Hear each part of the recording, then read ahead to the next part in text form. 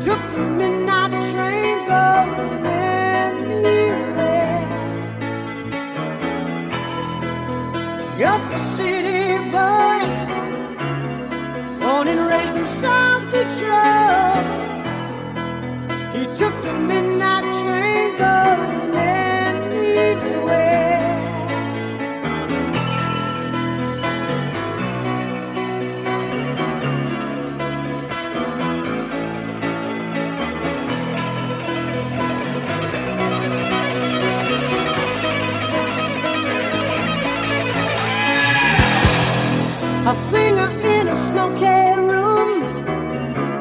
The smell of wine and cheap perfume. For a smile, they can share the night. It goes on and on.